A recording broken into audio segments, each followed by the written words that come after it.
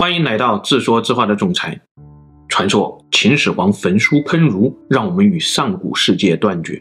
然而，就在一九九四年呢，两座古墓被挖开，这底下竟然是被秦始皇遗漏的上古宝藏，有失传的技术，有断绝的思想，甚至还有一条直通上古的密道。今天，我们就来聊聊这个故事。一九九四年，湖北警方破获中国第一古尸案。当时这根绳索就是从古尸脖梗上取下来的证物。古尸的现场画面过于惊悚，还请大家自行脑补。后来这具古尸被证实在地下埋了两千三百多年，被盗出土以后，又在臭水沟里埋了三十九天，发现它的时候竟然还没有腐烂。现场的一位法医说：“不可能，这绝不可能。”但现实就摆在眼前，我们发现了无法解释的上古技术。但当我们想要破解它的时候呢，却发现这背后有一个让人抓狂的故事。时间回到一九九四年的三月八日，湖北荆门四方乡派出所接到报案，郭店三队有人盗墓。两天以后，人赃并获，有部分盗墓贼落网。接着，盗墓贼交代，他们同伙七人分两次实施盗墓，但古墓的规模很小，总共才盗出来二十来件文物。这些文物也陆续被民警追回，案件进展顺利。但突然呢，这天派出所的大门上被人张贴了一张大字海报，赫然写着两个字“古尸”，这是举报信呐！民警们立刻就反应过来了，盗墓贼们正在避轻就重，这根本不是什么小墓，而是出土了不符古尸的大墓。于是连夜突击审讯，盗墓贼们也终于讲出了那个可怕的盗墓细节。三月七日晚，村民李一海说要起水找死鬼。上次我下去还摸到一具古尸，脸上鼓鼓的，怕不是含着什么值钱的珠子。这次我们多下去几个人，再摸点东西上来。于是当晚他们扩充盗洞，李一海带着三个人下去，很快就砸开了棺材板，果然看到了一具古尸，面容完整，头饰华丽，还是个女的。四个人也是胆子大，一拥而上就把那些华丽的头饰连同头发一起给撸了下来。李海更强，直接趴到古尸的脸上，手指伸到嘴里一阵乱抠，结果并没有发现什么珠子。啊。失望之余呢，他又注意到古尸身上有五颜六色的丝绸，觉得这个应该也很值钱。于是四人决定把古尸拖上去，再把他的衣服扒下来卖钱。就这样砸的砸，拉的拉，不一会儿功夫呢，就将这具古尸拖到了地面的泥坑当中。这个时候，他们才发现古尸的皮肤竟然还有弹性，都吓坏了。但销毁证据更重要啊！他们立刻清醒过来，又把古尸拖行了三十多米，扔到一个臭水坑里，再埋上黄土掩埋。当专家们听到这些描述的时候，现场一度失控。你们知道你们这是在干什么吗？马王堆的辛追夫人，凤凰山的五大富税，这都是国宝级的古尸啊，禁止出境的顶级文物。而你们拖上来的，比上面两句还要早两百多年，战国古尸啊！而且古尸不腐，也就意味着文物不腐，你们却将大量的竹简、丝绸随意的破坏。两千三百多年前的不腐古墓，这是全球独一份呐！实在不忍心往下听了。临到四月十四日的破晓呢，公安机关考古专家又押着盗墓贼一起去指认现场。接着，当现场的那个臭水坑被挖开，古尸再次出现的时候，法医说：“这不可能，这已经是出土后的第三十九天了，它竟然还没有腐烂。”接下来，一方面考古队赶紧保护古尸，同时也展开抢救性发掘；另一方面呢，公安机关也继续侦办，务必追回古尸身上的丝绸。极品丝绸往往伴随着不服古尸一起出现，比如马王堆辛追夫人的那件素纱单衣，仅仅只有四十九克，折叠起来可以装进一个火柴盒。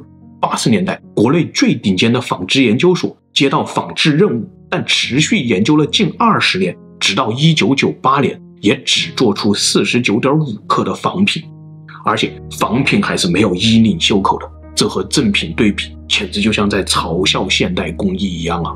这个故事我们先前专门聊过，但还有一个细节呢，那就是当时一起出土的还有一件更轻，只有四十八克，但后来被一个蠢贼偷走，他怕留下证据，就一把火把它烧成灰，冲到了下水道当中。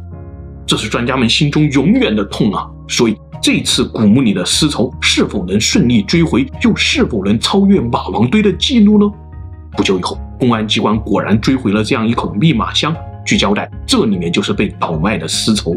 然而，当密码箱开启的那一瞬间呢，专家们先是闻到了一股刺鼻的酒精味，然后就眼前一黑。原来这些蠢贼竟然把好几件丝绸衣服泡在酒精里面，说是要给它消毒杀菌。然而丝绸这是蚕丝蛋白，会很快被酒精腐蚀啊！就这样，两千三百年前最精美的楚国丝绸变成了碎布条，然后经过抢救修复了，是这样几块残片。但哪怕是这样几块残片，目前也是国家一级文物。被追回的一级文物当中，还有一套迄今所见最完整的楚国乐器——虎座鸟架鼓。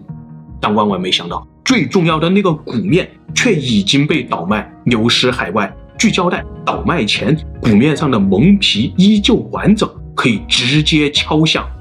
当时一个专家说：“别说见过了，我这辈子想都没有想过。”因为蒙皮一般由蟒蛇皮和兽皮做成，又需要拉伸定型，这非常容易腐朽，理论上根本不可能保存上千年。而据说呢，这张蒙皮鼓现在在某位日本收藏家的手中，从未公开展示过。继续抢救性发掘，古墓里也不过出土了一些破碎的丝绸残片、掉色的木器、漆器等等等等的零星文物。本来专家们发现这些丝绸的机械强度、内容丰富度。均优于此前号称中国第一丝绸宝库的马山一号墓，可是这一切全被一场野蛮的盗墓给毁了。到了一九九四年的四月了，参与作案的二十三人全部被缉拿，唯独那名主犯李一海神秘消失。有人说他潜逃了，有人说他已经死了。总之，没人知道他人在何方，也就没人知道他是否还随身携带着什么更加珍贵的文物。古尸究竟为何不腐？一九九四年五月十日，由享誉世界的病理学家武忠弼教授主刀，专家组展开了对古尸的解剖研究。武教授回忆说：“当他们把蒸馏水注射进血管的时候，依旧可以流动。我们当时解剖的时候，用蒸馏水注射器注射注射真流水，它血管仍然可以流动。古尸的肌肉、内脏都保存得非常良好，血型是 AP 型，身高一米六二，女性。”距今两千三百四十，正负一百七十年，享年七十到七十五岁，十分的长寿。他去世以后呢，遗体进行过药物防腐。同时，抢救发掘时，考古队也从棺木当中发现过一些类似淤泥的东西。后来检测确认，这些淤泥的成分是中草药。但非常不幸，由于盗扰严重，这些中草药的成分已经无法再分析还原了。最终，专家组给出这样两点结论：第一，古尸不腐的外在原因是由于它一直处于密封状态，隔绝了外部空气。和马王堆古墓一样，这座古墓也采用了数学土坑的防腐木工艺，用一层层木炭、青高泥和白高泥密封，做到了两千三百多年不漏气。第二，古尸不腐的内在原因是由于它的各个部位胶原纤维都得到了完好的保存。一般来说，胶原纤维由三股不同的多肽链互相缠绕组成。在活体状态下，这种缠绕是非常紧密的。但是，当活体去世，细菌开始大量繁殖，细菌就会分泌胶原酶来破坏这些紧密的结构。然而，检测发现，古尸的皮肤、内脏当中竟然出现了大量的细菌芽孢。芽孢是细菌在极端条件下形成的休眠体，所以这也就意味着。当年遗体被下葬以后，本来应该继续繁殖的细菌，却纷纷形成了芽孢休眠，原因未知，但猜测与古墓的空气环境以及防腐药剂有关。另外，古尸出土以后，曾在非常有利于细菌繁殖的臭水坑中又被掩埋了三十九天，为什么依旧没有腐烂呢？猜测可能与古尸身上的防腐药剂有关。但这种防腐药剂，现代科技无法复制。如今，这具古尸被陈列在金门市博物馆后院的珍宝馆中，它是顶级国宝，象征着上古失传的技术。然而，就在它旁边，还有第二件顶级国宝——郭店楚简，它更厉害，是上古失传的思想。道德经五千言，这真的是老子在西出函谷关的时候留下的至理名言吗？其实，专家们早就发现，函谷关设立的时间比老子小了一百多岁，所以《道德经》的来历和内容呢，大概率就是被后世篡改过的东西。但这种改动究竟有多大呢？先前出土的马王堆帛书里面有西汉时期的《道德经》，是德经在前，道经在后，应该叫做德道经。德是人的修为，道是自然的规律。虽然仅仅是顺序区别了，但这当中的思想已经是千差万别了。比如我们的书上写“道可道，非常道”，马王堆帛书上写“道可道也，非恒道也”。原来老子的原意根本就不是“道不可道，道不可说”的意思，而是说道可以形容，但却没有一个永恒不定的形容。再比如我们的书上写“上善若水，水利万物而不争”。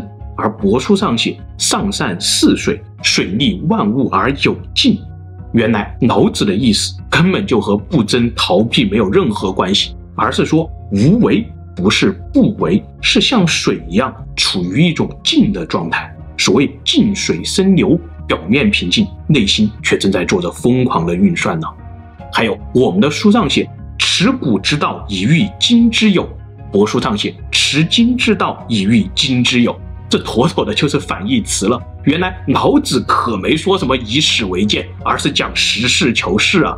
等等等等，帛书和现代的版本区别很大，几乎每一章每一句都不一样。但是帛书就一定是老子的真相吗？显然，从老子到马王堆，这中间还有大几百年呢，又经历了战国时代的百家争鸣和秦始皇时代的焚书坑儒，大概率它也是被篡改过的内容啊。所以，我们究竟能不能发现老子亲自写的原文呢？果然，就在出土古尸的郭店村，又传来了另一起让人震惊的盗墓案。当考古队打开被盗古墓的时候，竟然发现了老子的原文。这算是一种补偿吗？两座古墓相距不足一公里，前后相继被盗。本来这座更惨，七月被盗，十月才发现。考古队抢救发掘的时候呢，真的没有抱有任何希望啊！尤其是挖开以后，发现里面全是水。但是就在队员们开始清理头箱的时候呢，文物就像有灵性一样，几根竹简自己浮了上来。再一看，上面的墨迹非常清晰。谢天谢地，这也是一座同时期的楚国防府墓啊！一共出土了八百零四枚竹简，一万三千多字。竹简上的内容是十六篇儒家和道家的经典。而且其中有一篇竟然是失传了两千多年的老子原文，也就是今天所谓的《道德经》。赶紧破解翻译，这可是躲过了焚书坑儒的老子啊！到底和今天有什么不一样呢？接下来的二十多年当中，惊奇就像雪片一般的飞来。有人说，《道德经》五千言，老子当年只用了五千个字，就给我们后世留下了无边无际的思想。但真的是这样吗？郭店楚简当中的老子竟然只有两千零四十六个字，所以不仅西出函谷关的故事是虚构的，就连五千言的字数也不对吗？目前主流的解释是这么说的：竹简出土于被盗的古墓，虽然盗墓贼没有拿走这些竹简，但有没有遗失和破坏，这个我们并不清楚。其次，作为陪葬，也不一定要陪葬全本呢，因此。古墓中出土的内容只有今天内容的五分之二，这也并不能说今天的版本就一定不对。但接下来呢，当我们翻开这本出土的老子，瞬间就不淡定了呀。古墓中的老子竟然是甲乙丙三篇，和道篇德篇没有任何关系，也就根本不涉及到究竟是道在前还是德在前的问题。人家就叫做老子甲乙丙，根本不叫什么道德经或者得道经呢。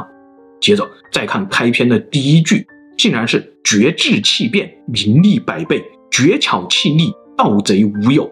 这和我们熟悉的一开篇“道可道，非常道；名可名，非常名”完全是两码事儿啊！一个是说治国理政要摒弃小聪明、小动作，这样才能让人民安定；而另一个则说：“注意啊，我接下来要跟你说的这些内容是玄之又玄，不可言传，只可体会啊。”怎么感觉一个是治国理政的道家学者，一个是路边算命的半仙瞎子呢？反差太大了吧！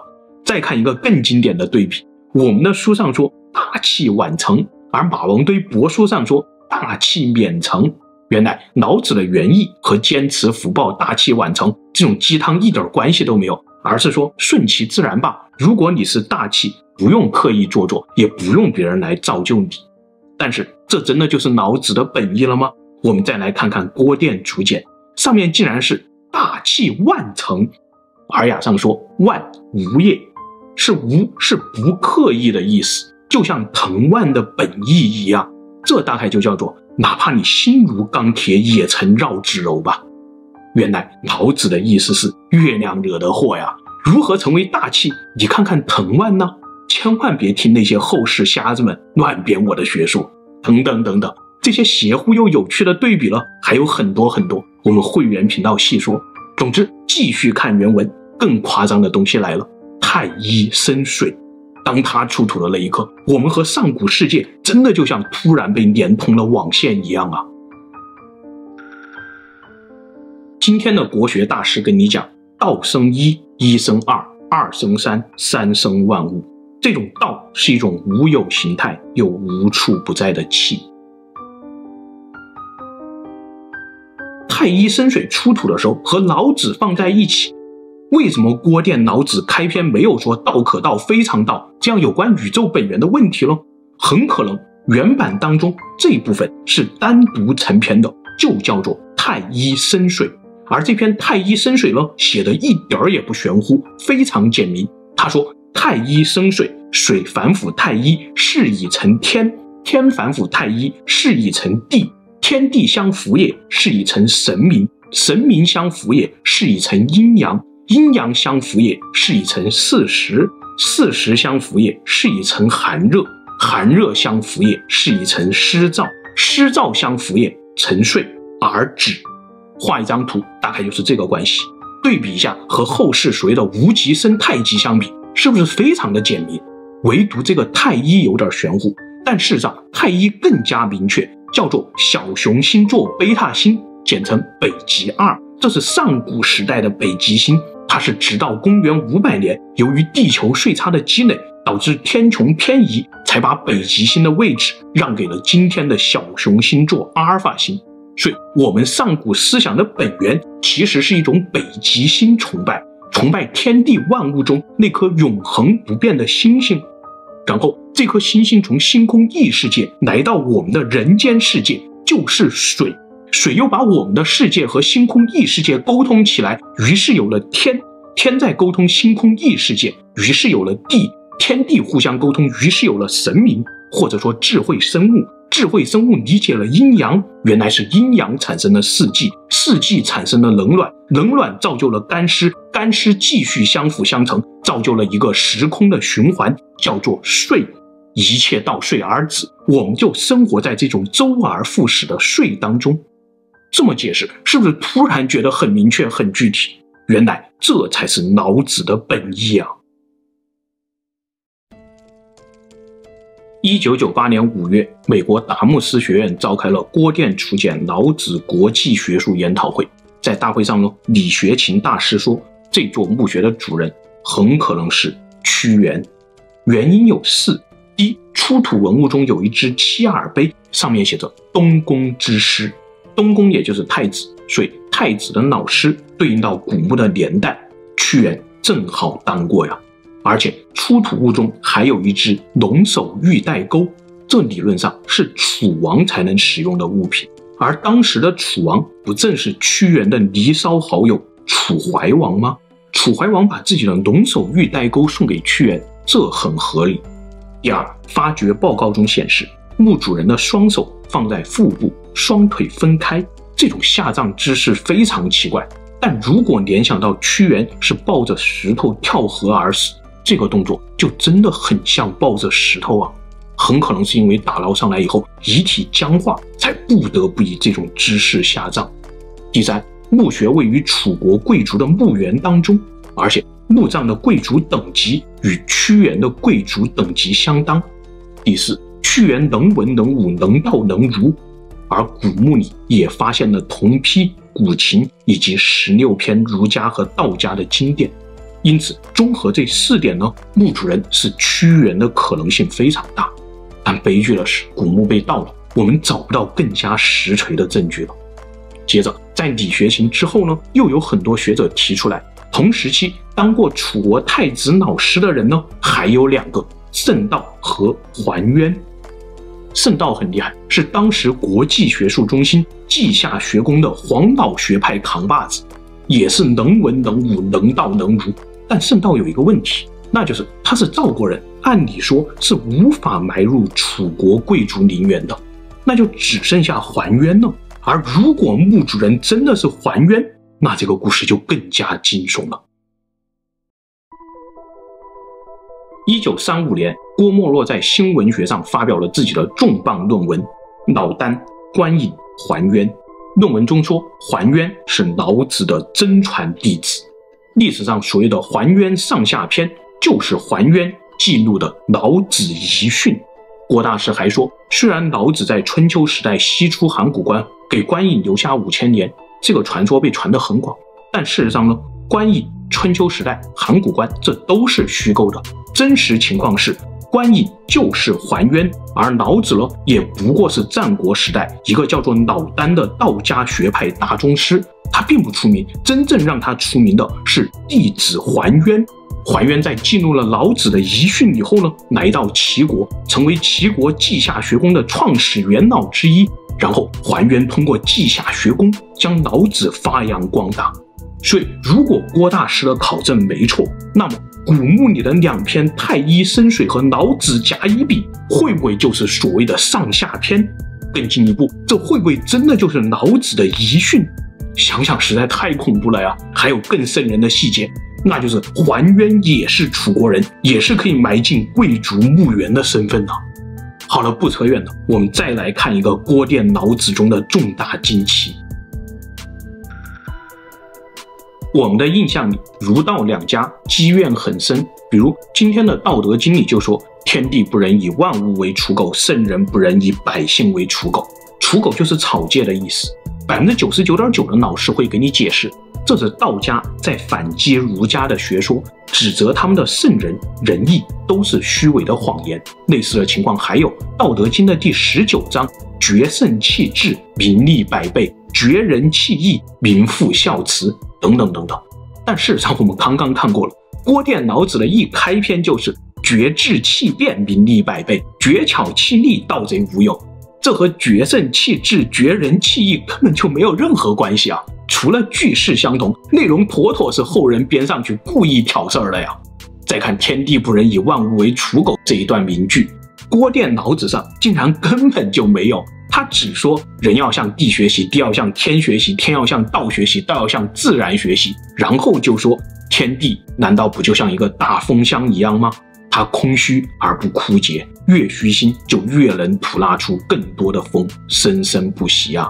而我们的《道德经》呢，却把这一段直接变成了挑衅儒家的比喻，说：“看看你们的圣人和天地都是胡扯，万物百姓不过是你们虚伪谎言下的草芥，而我们道家的天地呢，则像虚心的风箱，吐纳生生不息。”这一点破解呢，让我们后世终于明白了一件事儿，那就是春秋战国时代的百家争鸣真的没我们理解的那么冲啊。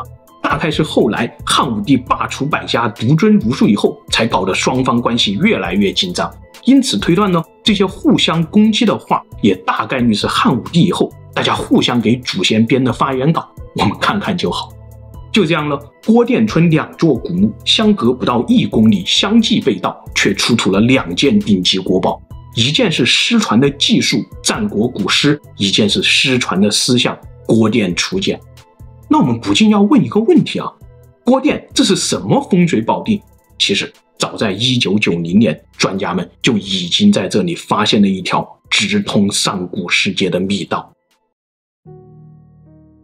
一九九零年，金门市博物馆组织调查，为什么自己辖区内有这么多古墓？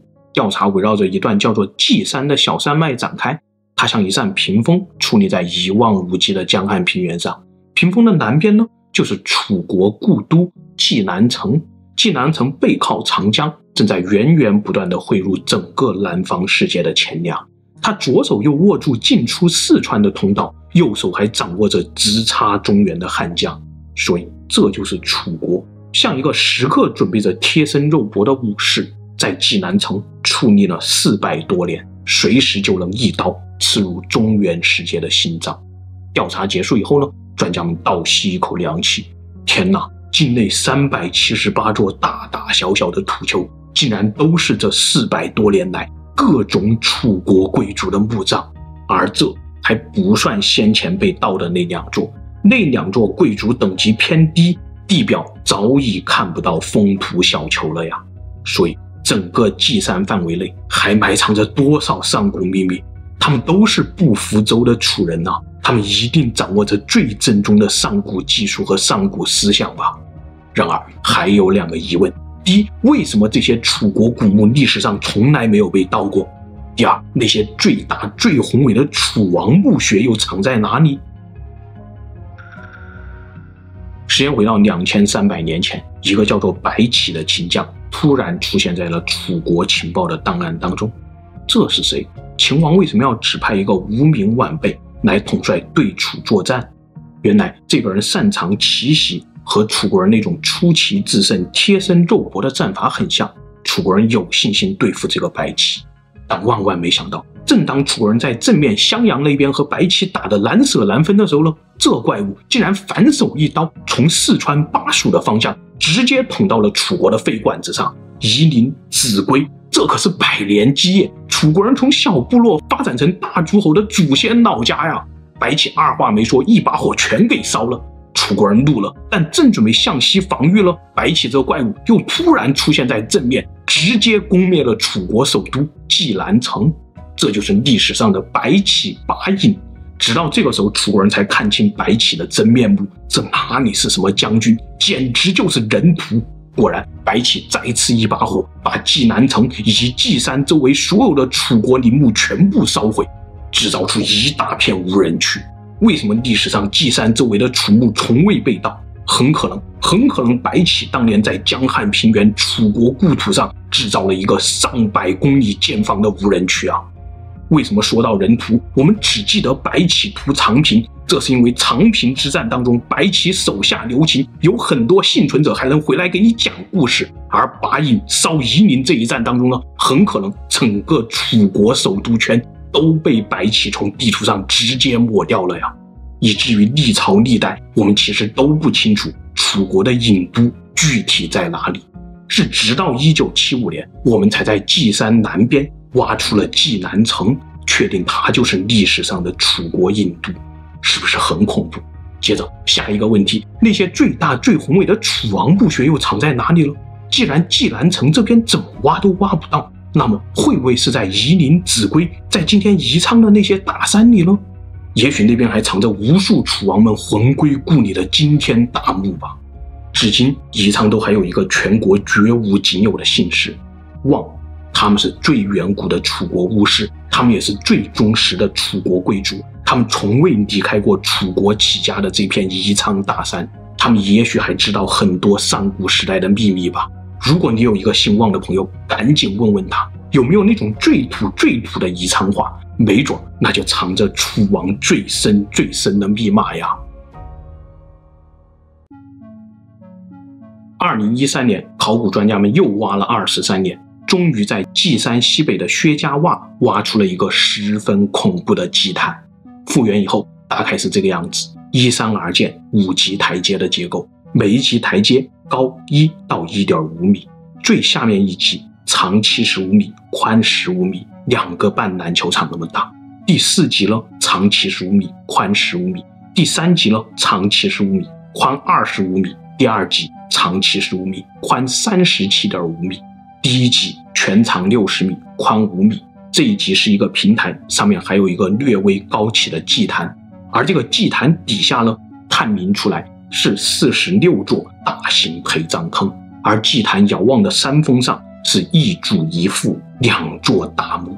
想象一下，五级台阶和中央祭坛，二十多个足球场那么大，这能站下一万人了吧？再加上祭坛下陪葬的那四十六个人，哪位楚人在死后能享有这种规模的祭祀？专家说，可能只有楚王了吧。所以这难道就是一座没有被盗掘，还依旧保存着不腐古尸的楚王古墓吗？真的只需要一铲子挖下去，我们就能直通上古啊！这底下埋的可都是躲过了秦始皇焚书坑儒的宝藏，失传的技术、上古的思想，还有很多很多都埋在稷山附近的大小古墓当中啊！现在整个稷山楚墓群五十万平方公里的范围内，全部被安装上了摄像头。国家像保护秦始皇陵一样保护着这条直通上古的密道，暂时还没有发掘他们的计划。接着，故事来到了二零一七年，就当当年的那个主犯李海逃亡二十三年以后呢，公安机关终于在海南省将他缉拿归案。原来他早已改换身份，成了一个业余倒卖佛珠的水产养殖户。而当年他是否还随身带走了更加珍贵的文物？这就真的只有他自己知道了。